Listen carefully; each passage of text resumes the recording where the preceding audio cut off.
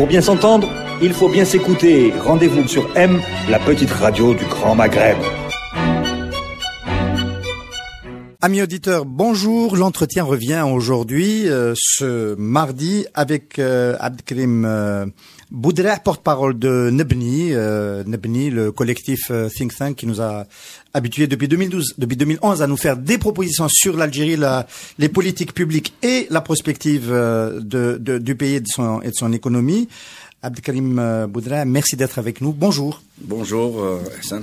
Alors, l'actualité qui fait que nous recevons euh, une deuxième fois, je crois, ou une troisième fois, euh, Monsieur Boudra à Radio M, c'est évidemment euh, la réunion de la tripartite et ce point central dans son ordre du jour, la présentation d'un nouveau modèle de croissance par euh, le gouvernement.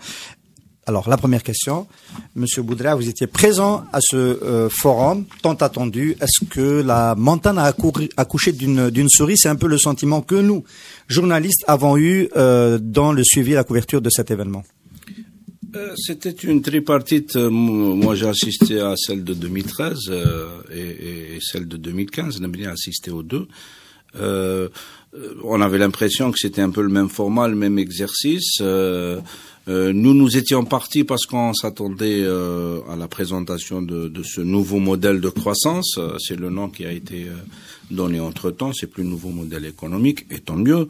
Euh, donc, il y avait une valeur ajoutée euh, sur ce, ce point. Le premier de l'ordre du jour. euh, Maintenant, euh, le format tripartite, euh, c'est celui-là, c'est-à-dire c'est des prises de parole, des, des, des discours sur des, des intentions. euh, et probablement, il est à chaque fois un peu frustrant. Alors, on peut rappeler à nos amis auditeurs ce qui s'est passé.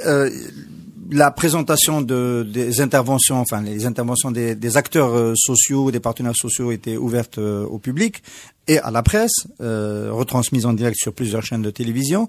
Et lorsque nous sommes passés au cœur de l'ordre du jour, c'est-à-dire la présentation du nouveau modèle, le ministre des Finances, Monsieur Abdelrahman Ben Khalfa, au moment de son intervention, euh, a- a- a- le, le chef du gouvernement a demandé, le président, le premier ministre a demandé à- à- aux journalistes de se retirer et le, et le- et le direct a été interrompu. Qu'est-ce qu'il y avait de si important qu'on a caché au public dans la présentation de Monsieur Ben Khalfa Sincèrement, je, je ne pense pas qu'il qu'il- qu'il y avait quelque chose à cacher. Euh, le ministre des Finances a présenté euh, le travail de la task force. Euh, il y a une task force de, de six experts indépendants qui ont travaillé euh, euh, gracieusement et soumis un rapport. Donc, il en a présenté une synthèse euh, dans laquelle il y avait euh, des éléments de vision, de, de prospective dont on pourra en parler au besoin. En attendant qu'on ait le document, parce qu'on n'a pas encore eu le document de travail de la task force. Euh, donc personnellement, j'ai noté d'ailleurs tout ce qu'avait dit M. Ben Khalfa. Je ne vois aucun élément qui qui devait euh, être caché. euh, donc euh, voilà, je je- j'avais même pas fait attention.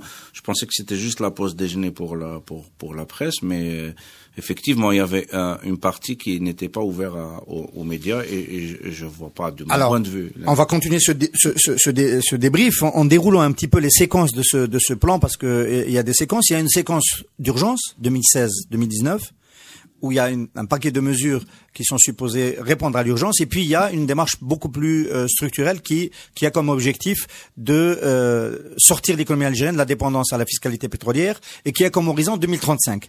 Sur la première partie, est-ce qu'il y avait dans l'intervention de Monsieur Ben Khelfa quelque chose de concret que le public euh, ne connaît pas encore? Euh, Est-ce qu'il y avait quelque chose de concret? Oui, c'est-à-dire il, il a présenté euh, euh, des éléments. Encore une fois, je parle de la présentation de Banque Alpha, pas du travail de la task force que nous n'avons pas encore eu. Euh, on, on le commentera quand on le recevra. Il y avait d'abord des éléments de diagnostic que nous partagions, c'est-à-dire euh, il a dit clairement que le problème de l'Algérie n'est pas la baisse conjoncturelle du prix du baril, euh, mais que c'était des problèmes beaucoup plus structurels. Il a parlé de la nécessité de réformer la gouvernance. Il, il- il a parlé de ça. Un il point, a un, point très euh, cher que nous pour partageons, le maintien de l'ambition sociale euh, de l'État algérien, mais en corrigeant euh, euh, les, ce, ce qui ne fonctionne pas jusque jusque là. Donc il y avait des éléments de vision, mais aussi des jalons qui, euh, par rapport à ce que nous avons fait en tant que Nebni, euh, on on n'était pas en déphasage. Euh, donc euh, sur restons sur cette partie-là. on parle de 2016-2019 et, et, du, et du constat. Donc 2016-2019, ça signifie qu'il y a, il y a un plan. Il y a, il y a eu cette, on a le, le, premier ministre a fait plusieurs fois référence à, à un cadrage pluriannuel du budget. Mhm. Est-ce qu'on a des éléments sur ce cadrage euh, de, dans cette réunion? Non, il, il, il n'est pas allé jusque là. Euh, à ma connaissance, j'étais en train de revoir un peu les notes que, que, que j'ai prises. Il a parlé de, de plusieurs axes, notamment un. Il a parlé parlé de l'échec de l'ancien modèle, euh, ça c'était euh, clairement assumé, d'une la nécessité d'une vision rénovée articulée sur deux temps. Euh, il a parlé des leviers, alors il en a cité plusieurs, donc une, une orientation audacieuse de l'investissement le recours à, au marché, donc ça c'est aussi quelque chose qui a été annoncé, euh, euh, le partenariat public-privé, mais également au marché, donc on a entendu marché international, la nécessité de, de faire une diversification par rapport aux, domaines sur lesquels on a des facteurs euh, de, de compétitivité. Il a parlé d'un choix euh, plus prononcé pour l'agriculture, le soutien à l'agriculture et à l'agro-industrie. Euh, il a parlé également d'ajuster le rôle de l'État pour laisser un peu plus de place euh, euh au marché. Euh, et puis il a, il a, il a annoncé des, des, des, des, pistes, mais il n'a pas chiffré sur la nécessité. Alors il a parlé d'un objectif qui semble ambitieux, c'est-à-dire d'atteindre un niveau de fiscalité ordinaire de l'ordre de 50 donc, euh, il n'a pas dit, je crois, à, quelle échéance. Oui, bah, c'est très important. Euh, très, oui, oui, d'accord. je, je, je, je, prends note. Donc, euh, mais l'équilibre de, de la structure de, du, du, du, PIB. Donc voilà, il y avait euh, des déclarations de principe. Euh, sur lesquelles on, on, on ne peut qu'être d'accord en majorité. Euh, après, euh, toute la question, je suppose que nous nous posons tous, que nous avons posé séance tenante, nous, hein, euh, c'était de dire, OK, mais comment on va y arriver Comment on va faire euh, Quelles sont les garanties que l'on doit se donner les uns aux autres pour, pour, pour Alors, peut-être que cette partie-là qui manquait dans la présentation du ministre des Finances, M. Ben Khelfa, elle, était, elle, elle est dans le document de, de la task force, c'est-à-dire des éléments chiffrés, des objectifs d'étape. Euh, dans les dans les différents cadrages euh, et puis et puis euh, et puis et puis le coup d'envoi à quel moment ça, ça démarre est-ce que est-ce que selon vous vous avez eu les présents le sentiment que ce document faisait problème? C'était pour cela qu'on vous l'avait pas donné? Sincèrement, je, je, je, ne sais pas. Je, je suppose, comme comme vous, qu'il y il doit y avoir des, des arbitrages à faire. Euh, nous, ce que nous avons proposé séance tenante, c'était de, de, demander au Premier ministre de considérer que euh, cette rencontre est le point de départ d'un débat sur la base de ce document. C'est-à-dire, on a demandé à ce que on considère pas que ce document euh, est à valider, mais que le débat est ouvert. Nous comptions l'enrichir avec d'autres pour que, euh, éventuellement, à la rentrée sociale, on ait quelque chose qui fasse un peu plus consensus et que, en tout cas, nous, on aurait le temps de, de commenter, éventuellement d'enrichir. Mais il faut déjà qu'on prenne connaissance du travail de la task force. Donc, notre revendication, c'est que ce document soit rendu public tel et pas euh, après intervention de l'administration. Vous êtes porte-parole du collectif Nebni, donc vous connaissez un petit peu les pratiques pour ce qui est de, des think tanks indépendants qui, qui proposent un rapport à, à une institution. Euh, euh, en général, le rapport a vocation à devenir public quasiment en même temps. Oui, oui, c'est ça un peu la, bon, nos, amis de la task force ont, fait un travail que je suppose louable. Nous, nous les avons félicités et nous soutiendrons toutes les idées. Maintenant, euh, peut-être que l'administration, elle, n'est pas habituée à ce type d'exercice, c'est-à-dire d'une réflexion un peu d'experts indépendants.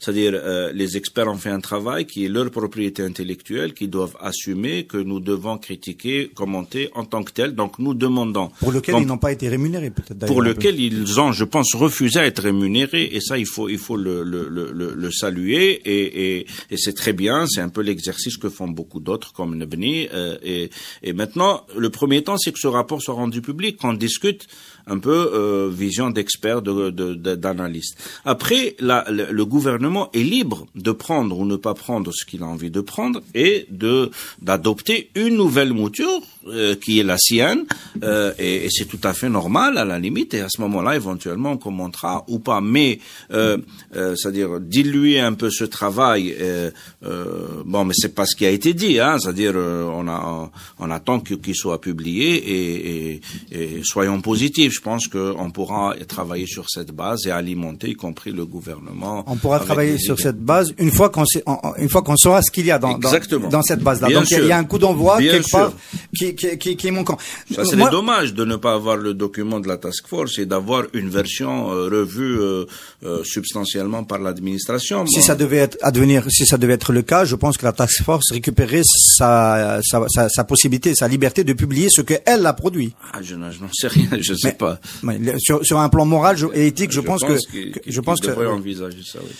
Est-ce que euh, alors moi j'ai fait j'ai eu le sentiment quand même que, que l'idée du gradualisme qui a été soutenue par euh, par différents intervenants, euh, Monsieur Khalifa notamment, dans la conduite de la réforme, cacher une volonté de quand même gagner encore un peu de temps et peut-être de ne pas s'engager tout de suite dans des réformes dont on sait qu'elles peuvent, euh, euh, dans un premier temps, euh, ressembler d'abord à un ajustement, c'est-à-dire un ajustement de la demande solvable vis-à-vis de vis-à-vis de, de, l'offre, c'est-à-dire que l'Algérie vit, en tout cas, le budget de l'État est au l'État vit au-dessus de ses moyens depuis que le prix du pétrole a baissé. Et, je ne sais pas si vous, vous l'avez ressenti. Reporter à plus tard ce qu'il faut faire. Euh, lors de la tripartite.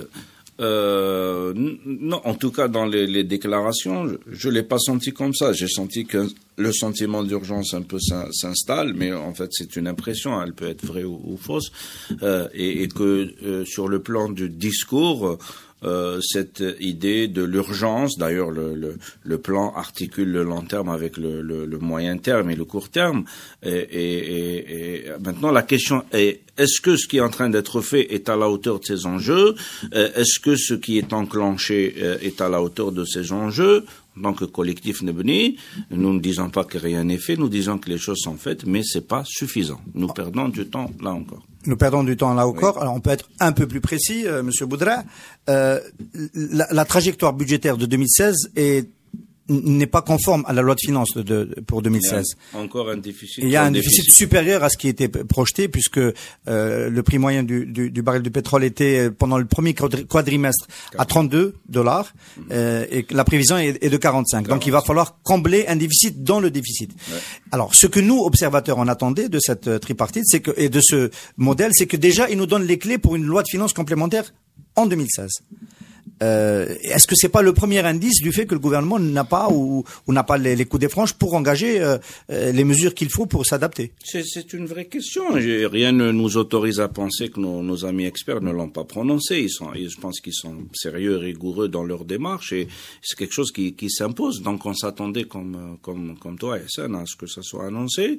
Euh, ça l'a pas été. Ça veut pas dire que ça sera pas fait. Donc il y a c'était un exercice de communication et c'est ça les tripartites. Il faut pas non plus s'attendre euh, quand on va à une tripartite, euh, voilà, c'est le format institutionnel habituel. Euh, rien ne nous indiquait que ça allait changer. Donc c'est frustrant euh, si on, s'attend à ce qu'il y ait ce type d'engagement sous cette forme.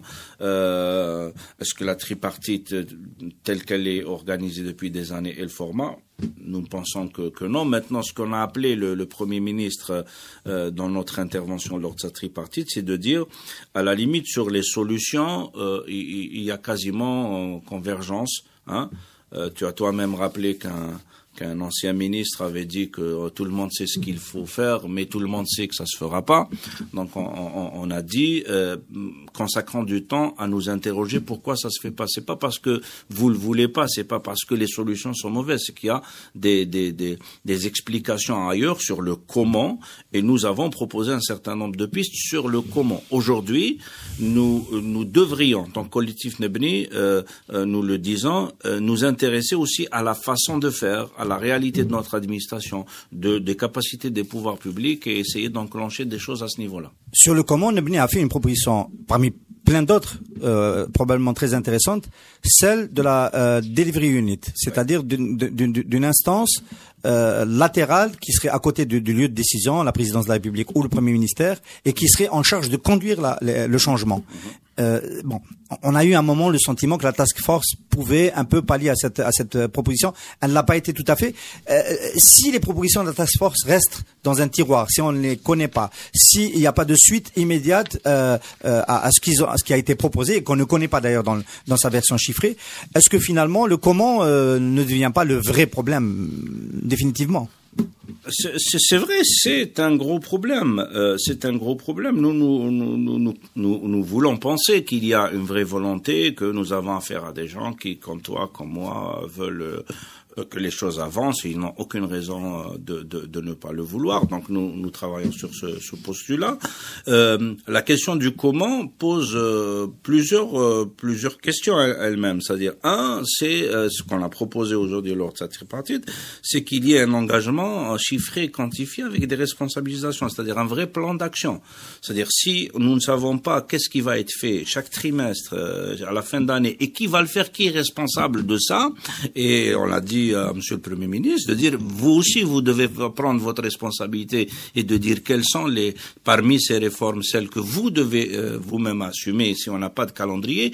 C'est-à-dire tout le reste c'est des intentions. Tu as raison si on me dit on va atteindre 50% de la de la fiscalité en ordinaire 2030. à quel 2030 45 voilà tout le monde euh, sera mort à, à cet horizon-là comme euh, comme l'a dit un célèbre économiste nous serons tous morts.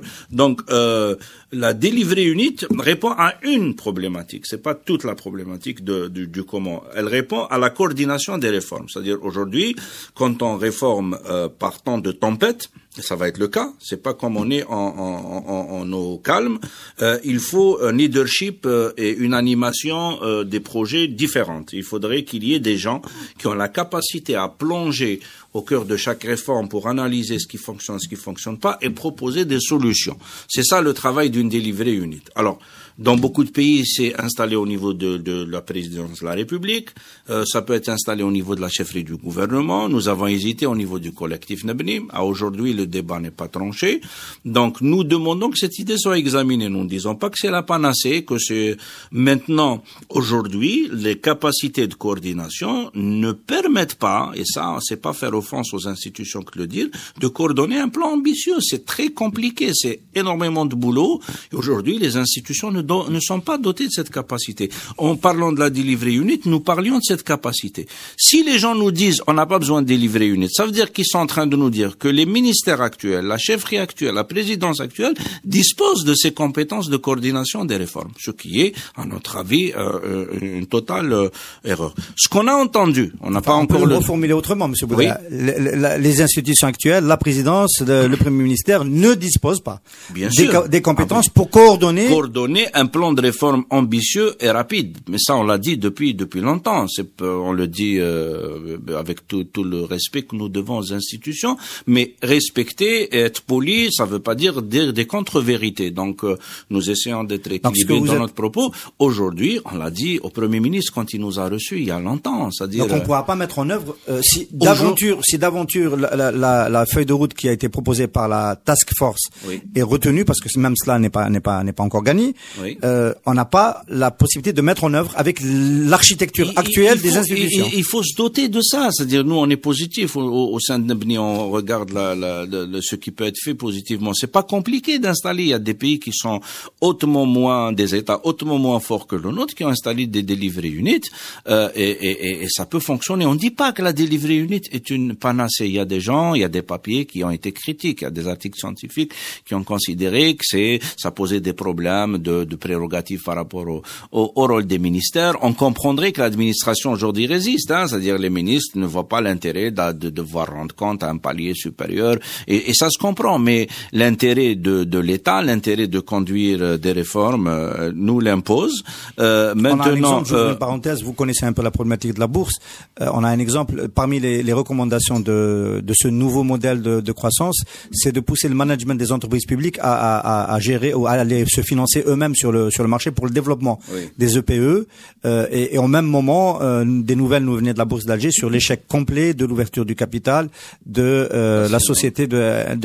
Donc on a un peu une idée de comment ça risque de se passer si jamais on va. Voilà un exemple. Voilà un exemple. Aujourd'hui, est-ce que vous pensez que quelque part on a les capacités de prendre la problématique de la bourse, de la décortiquer, de l'analyser, de voir les maillons faibles, d'identifier les causes et de proposer des solutions? C'est ça le rôle du delivery unit. Une delivery unit, c'est c'est un groupe de travail fait d'ingénieurs euh, euh, en recherche opérationnelle, en économie, en finance, et on leur dit voilà j'ai un problème aujourd'hui la bourse ne marche pas. Qu'est-ce que vous proposez Ils vont plonger, ils vont faire de, de l'analyse factuelle sur la base de données réelles pour analyser, décortiquer, proposer des solutions. Sauf que les delivery units vont plus, c'est-à-dire qu'ils euh, vont proposer une feuille de route avec euh, des, des, des leaderships sur les différentes actions.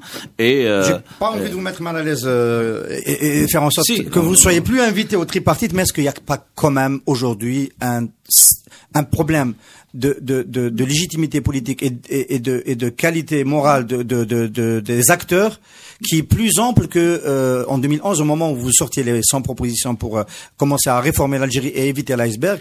Euh, je regardais la télévision, euh, la tripartite. Euh, le premier ministre est un acteur. Il est à travers sa fille impliqué dans Panama Papers. Monsieur Bouchouarb a fait une intervention. Il est lui-même impliqué dans Panama Papers.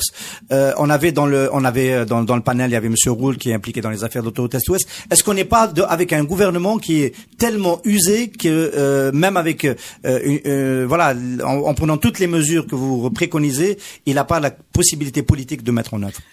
Les questions de gouvernance sont des, questions réelles, c'est-à-dire nous avons écrit que euh, euh, nous allons, nous risquons, on l'a écrit en 2011, 2012 que nous risquons d'affronter l'iceberg avec des institutions affaiblies.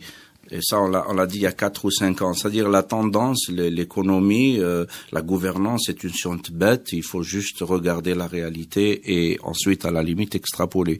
Euh, la situation de nos institutions, à tout point de vue, euh, sur le plan de la gouvernance, elle est ce qu'elle est, elle est faible. Euh, tous les classements internationaux, mais encore une fois, nous nous plaçons dans la trajectoire d'un État qui va nous dépasser, qui a commencé avant, avant nous qui va se poursuivre après nous, et nous ne pouvons que nous inscrire sur euh, sur cette perspective-là, qui la seule nous, nous intéresse. Mais effectivement, c'est-à-dire des institutions de plus en plus affaiblies, un manque de légitimité politique couplé à des problèmes de gouvernance. C'est ce qu'on a dit. On a dit qu'aujourd'hui, si vous restez faiblement transparent, si on ne sait pas comment les, les idées sont, sont, sont prises, si euh, une feuille de route qui a été faite, euh, vous vous commettrez l'erreur à la limite de ne pas la publier, ça va encore aggraver votre cas et le, et, le nôtre avec. Donc, euh, euh on n'a aucun aucun malaise à. à Monsieur Boudret, alors euh, Nebni, toujours en général un coup d'avance sur, sur, sur la conjoncture. Il y a un sujet qui a été abordé donc dans, dans la tripartite, c'est celui qui paradoxalement a été le plus concret, c'est celui de la réforme de la, du système de, retraite. On a mis en place une commission pour faire des, propositions et entre-temps on a supprimé la, retraite, euh, le départ à la retraite sans condition d'âge. Euh, alors vous, vous avez pointé autre chose. Nebni, vous avez pointé le fait qu'une partie euh, de des Algériens au travail, donc durant ces années-là, ne cotisent pas pour la retraite parce que cette partie-là travaille au noir, elle est dans le système parallèle et que c'est une sorte de bombe à retardement sur le plan social pour les années qui viennent. Est-ce que le gouvernement, est-ce que la tripartite a aussi pensé à prendre en charge ce volet-là quand elle apporte la retraite? Parce qu'on a l'impression que la remontée de l'âge de départ à la retraite est la panacée dans la pensée du gouvernement, alors qu'il y a l'assiette qui euh, cotise qui est faible.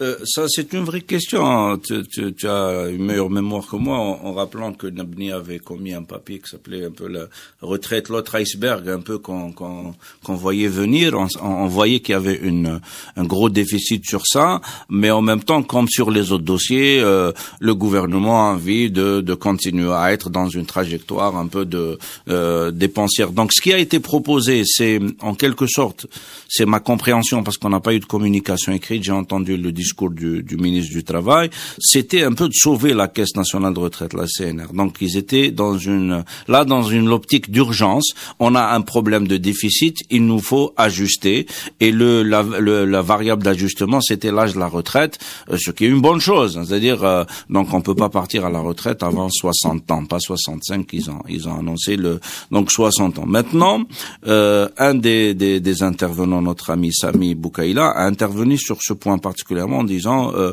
que voilà, il y a toute la question de d'augmenter l'assiette plutôt que de rester sur euh, sur ces. Euh, maintenant, euh, c'est deux exercices différents, c'est-à-dire sauver la CNR est une chose louable qui a priori est une est une très bonne chose. maintenant, il faut poursuivre ce travail-là en, en attaquant la question de l'informel. Mais là, peut-être qu'il faut saluer le travail qui a été fait par la CNAS ces derniers ces derniers mois. Ils ont fait un, un travail, de mon point de vue, titanesque. Ils ont fait une actualisation un peu. Ils ont invité des entreprises. Ils ont eu beaucoup de boulot et je pense que ça a beaucoup marché. Les résultats sont bons. Il faut les encourager. Il faut dire quand ça euh, nos ils amis de la classe. que dans la mise en conformité fiscale, Monsieur Boulkhelfa. De loin, euh, apparemment beaucoup mieux. Ça a été fait un peu. Bah, ils n'ont pas fait beaucoup de tapage, mais en tout cas moi, en tant qu'employeur, j'ai été confronté. J'ai vu à quel point ils ont été professionnels, à l'écoute des gens. Ils ont cherché réellement, et c'est comme ça qu'on euh, qu'on pousse les gens à régulariser. À... Maintenant, ça ne répond pas à la question de l'informel, qui elle est, est une autre euh, une, une, autre question qu'il faut ouvrir. Monsieur Monsieur euh, Abdelkrim Boudra, on va pas finir sans dire un mot sur l'agenda de, de Nebni. Est-ce qu'on peut continuer à parler d'avenir et notamment de, de, faire rêver les Algériens comme vous l'avez fait ces derniers, ces derniers mois dans le contexte extrêmement tendu de ces dernières ah, semaines? Plus que jamais, plus que jamais. C'est-à-dire, euh, c'est, c'est, on a besoin de construire, reconstruire le rêve commun, ce désir de vivre ensemble. Euh, les cauchemars, il y en a suffisamment et en, nous les vivons, mais à côté, il faudrait qu'on qu'on continue. Le 10 juin, nous invitons euh, vos auditeurs euh, à venir à l'École supérieure des affaires d'Alger. C'est la première fois qu'on organise un événement là-bas pour parler de l'Algérie euh, à Borj Kifen, l'Algérie digitale, de, de, de ce rêve de voir un jour notre pays un peu euh, dans le, le top sur cette question-là. Nous allons organiser peut-être un débat sur le sport, sur la ville, sur les valeurs, les semaines et les jours à venir. Donc cet exercice d'Algérie rêvée, on l'appelait comme ça, et, il s'ouvre, mais euh, nous comptons continuer à prendre la parole sur ces questions-là. Cette tripartite nous a euh, un peu inspiré. On a publié ce document que vous allez trouver sur nebni.org, qui est une réaction où nous rappelons ce qu'on a fait, mais nous proposons un peu sur sur quoi mettre le doigt. On est en train de discuter. Euh, peut-être qu'il faut qu'on aille un peu plus loin sur le volet de la mise en œuvre, du comment aller encore un peu plus sur sur ce volet-là. Donc la vie continue. Nous continuons à travailler à notre rythme et on n'a pas d'autre choix, merci beaucoup d'avoir été l'invité de l'entretien.